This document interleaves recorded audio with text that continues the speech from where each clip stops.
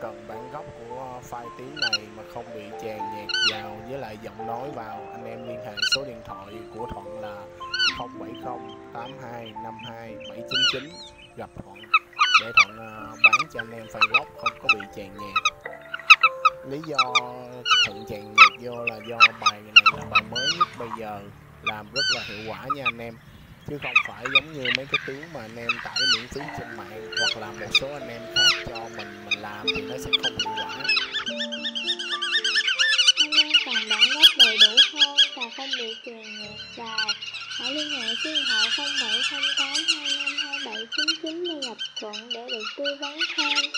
Hãy lưu ý những bản nhạc có tiếng chim, kèn, sách và các loại khối gần nhỏ vân vân đều là những bản nhạc được trải nghiệm thực tế, luôn được đổi mới để tránh việc nhàn tiếng kém hiệu quả. Hơn hẳn những tiếng âm thanh bậy mà anh em tải trên mạng về.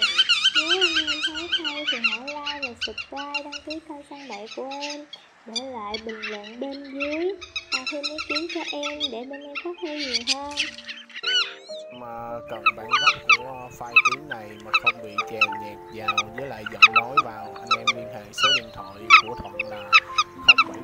82 52 799 gặp Thuận để Thuận à, bán cho anh em phải gốc không có bị chèn nhạc lý do Thuận chèn nhạc vô là do bài này là bài mới nhất bây giờ, làm rất là hiệu quả nha anh em chứ không phải giống như mấy cái tiếng mà anh em tải miễn phí trên mạng hoặc là một số anh em khác cho mình mình làm thì nó sẽ không hiệu quả Anh em cần bản gốc đầy đủ hơn và không bị chèn nhạc vào. Hãy liên hệ số điện thoại 0708252799 để gặp Thuận để được tư vấn thêm. Anh em lưu ý những bản nhạc có tiếng chuyên tròn, sách và các loại thú gần nhỏ vân vân đều là những bản nhạc được trải nghiệm thực tế, luôn được đổi mới để tránh việc nhàn tiếng kém hiệu quả. Hơn hẳn những tiếng âm thanh bậy mà anh em tải trên mạng về.